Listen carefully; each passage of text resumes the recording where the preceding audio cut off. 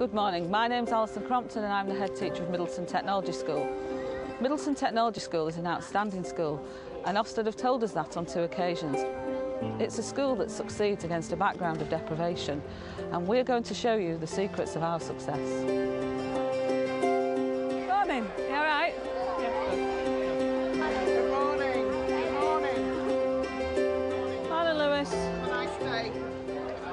If you work in my senior leadership team, then I expect you at 10 past 8 every morning to be meeting and greeting all the students. Good morning. Have a nice day.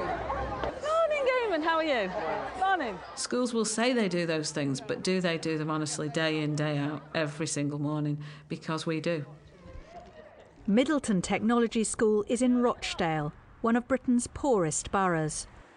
With high unemployment and household income levels amongst the lowest in the country.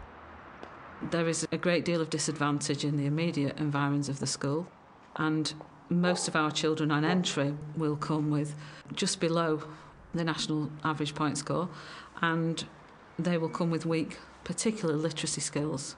We are talking about children, some of whom have significant disadvantage. But the school has never allowed disadvantage to mean low standards. In 2008, 80.2% gained 5 A star to Cs, 63.4% including English and maths. When might it cool really, really slowly? Jot down your reasons for thinking that.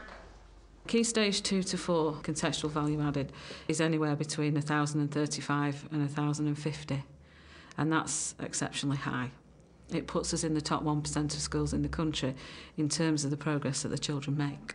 No, we've got y squared minus 49. So, what exactly is the school doing that's making it such a success? Our five secrets of success. Number one, consistent student routines. So we've all got equipment out. Has anybody not got anything with them today? Are we all okay? Yes? Everybody's fine. Good. All right, now. We expect then, as part of the school routine, that when they go into any lesson, they set out on their desk pen, pencil, ruler, and their journal, and the teacher can see at a glance that that's there. They generally do it without any discussion. We, we have equipment out, we have journals out, so that we know that they have enough things ready for the day. If they don't, it's very straightforward. We operate a zero tolerance. They get a red card and they are placed in, in a detention which lasts for an hour after school. And therefore, we have little of that issue really. Keep moving. Same people, just chase those down the corridor, please, sir. those girls. Our senior staff are very present on the corridors. They're very obvious everywhere throughout the school. Uh, and as a result, they lead by example, and the expectations are that the children will behave, and the expectations are that the children will learn and make progress. Our five secrets of success. Number two, quality teaching and learning. All our children are set on ability on entry to the school because it's about targeted, precise teaching. You grew some crystals and they grew really quick. And what size are they? Are they small? Are they big? Small. They're really small. Brilliant. They're constantly assessed and if we think that they are in the wrong class at the wrong time in their education, we move them until they catch up again and we place them back in the appropriate class. I'm not a proponent of mixed ability teaching. I think it has to be very precise, it has to be very targeted, and it has to be well differentiated. And I think that that perhaps is something that not many schools do to such a degree. It is a lot of extra work, but we're all enthusiastic and we all, you know, follow the ethos of the school and we all want our students to succeed. One of the good things is they tell us our levels frequently and then they tell us how we can improve on those levels and they call them the SMART targets. The GCSE extra lessons are really good and teachers go out of their way to help you if you've got a problem or if you need some extra help with something. Connotation. What's the meaning of what you see? Who can tell me what this one meant? England flag. England flag, right, good, excellent. So for you... The monitoring of teachers in the school is done throughout the year, mainly through performance management, but also there's this idea as well of informal monitoring, you know, everyone's happy for someone to pop into the classroom, watch what they're doing, take ideas. You need to turn your book sideways. Turn them upside down. I don't think any staff in the school find it unnerving once they see that actually it's not a, a look at what you're doing wrong. It's a supportive way of making sure that you can be the best teacher and give your students the best as well. Excellent. So, what's the connotations then of a bright blue, brilliant blue sky in the background? Is it happy? It's happy. Good. Our five secrets of success. Number three, effective leadership at all levels. Did you have a good response from the staff for that? Yeah, we did, yeah, and uh, very enthusiastic about the activities. Very I've got a big senior leadership team of 10 because it's a very, very busy school with lots of initiatives that, that happen. One of the things I would say about, about the quality of, of leadership in the school, which is, as Ofsted commented, it, is that it's outstanding at every level. Do you want me to get Henry to write to them? It's about having the confidence and belief in, in the abilities of your staff, in their potential and being able to unlock that potential. Now, if you just look at the board, that was the source which each of your group has been able to see. Like most of the staff, history teacher David Tootle has been given the opportunity to lead. Ever since joining as an NQT four years ago, he's been responsible for Leading in Learning, an initiative that encourages collaboration between different departments. The idea is to show the students that we can transfer our skills from one subject to the other and that although the content's different, all skills are useful to all different subjects. And it's good for the staff because we get to work with other departments that we don't normally work with. We're going to try and get as close We start with very young teachers, so we start with teachers when they've completed successfully their NQT year. We, we look to identify those teachers who we believe have got potential at that point, and we offer them a teaching and learning initiative. They are paid £1,000 a year, which is, is not an inconsiderable sum for a young teacher, to lead on something in the school that is of value to the school, um, that is really going to move an area of the school on. Our five secrets of success. Number four, supportive professional development. We're going to carry on with the training that we started last week with um, some training today on the new assessment tracker that we're bringing into school. We have an awful lot of staff training and the head believes in a lot of in-service training where teachers within our school lead other teachers within the school. We don't spend a lot of money on bringing um, other experienced people in.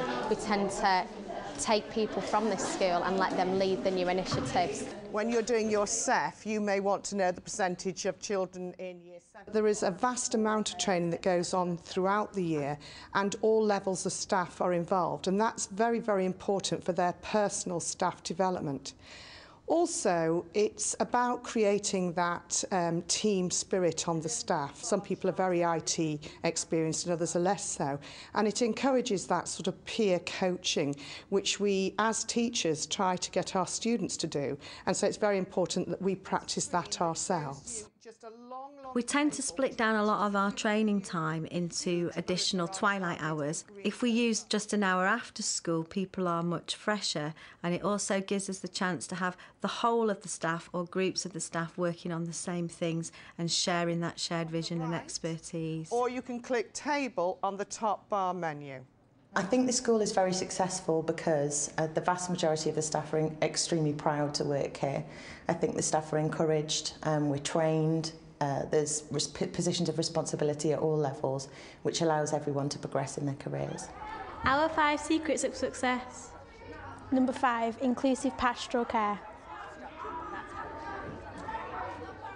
We start very, very early with our transition activities. We don't start in year six, we start in year five. And what that does is it allows us to get to know those children very well, but it equally allows our children, our young sports leaders, for example, to pass on the values and expectations of the school to those younger children so that when they come to school, they know how high our expectations are. Well done, fantastic. Who can read me the second objective, please? Yeah, go on.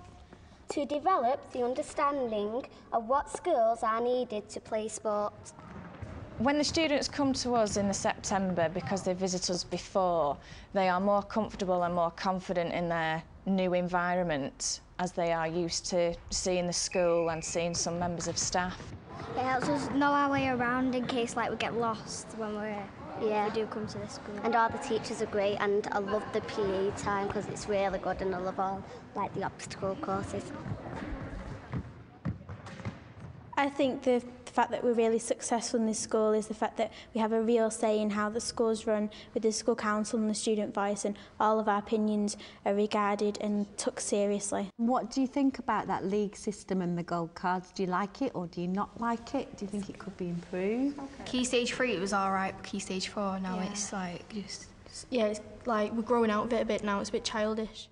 We react to what the children want. So we do lots of pupil voice surveys. We work with the parents. We've had parents in telling us what they would like, uh, what the way they would like their children to be doing in school. So it's, it's sort of giving them the information that they want to try and centre around what is going on in our local community. My friend doesn't believe in sex education in schools right. at all. Yeah. So it's not always easy in a setting like this to, to get parents engaged, but we work very, very hard at that we are interested in what they've got to say. I mean, I think it's a really positive thing to show my, but I've got three boys and I think it's important for them to be included as much as girls in, in sex and relationship education.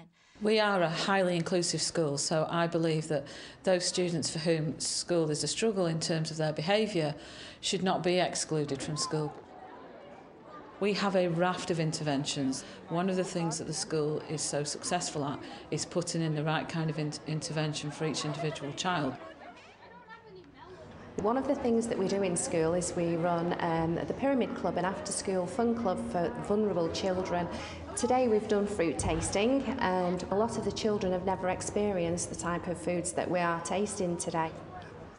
The melons are really nice. Right, and, what, and you've never tried, what was it Katie you've never tried? Mango, pineapple, apricot, blackberries, and apricot. And did you like those? You, you get them from the shops, would you? Yeah. Right, brilliant.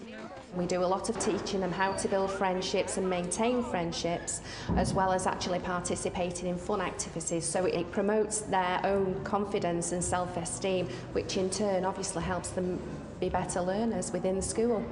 You coming in? I take a group of year eight boys. It's to try and build their confidence and self-esteem through problem solving and outdoor activities. Quite often at that age, when they come into 13, 14, there's a lot of peer pressure on them to be more grown up and to get into gang culture, and this gives them a chance to be children and to play safely. We make loads of these dens, we make fires sometimes, and uh, it's alright. I make new friends. I know, yeah. and get like different people coming each week, like it's just it's not really fun at home because it's better. I'd rather stay here and do stuff like this because it's more active. They really feel a sense of achievement because they've worked together as a team. I think my strong advice to any heads who will find themselves in schools in challenging circumstances is to concentrate on getting the basics right in the school, which are about the routines, particular. You tackle one area of the school first, you get the consistency and the, and the calibre that you require there before you move into other areas.